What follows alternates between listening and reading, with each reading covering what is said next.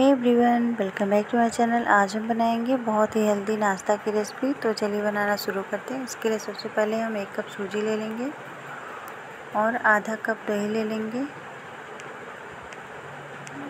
उसके बाद हम इसमें भीगा हुआ पोहा ले लेंगे थोड़ा सा इसको भी मिक्सर में ऐड करेंगे। उसके बाद इसमें थोड़ा सा नमक डाल देंगे। टेस्ट के अनुसार नमक ऐड करेंगे और इसे मिक्सर में चला लेंगे अच्छे से। स्मूथ सा पेस्ट बन जाएगा, फिर इसे निकाल लेंगे किसी बाउल में।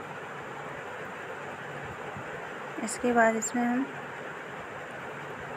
थोड़ा सा सोडा ऐड करेंगे। खाने वाला सोडा जो होता है,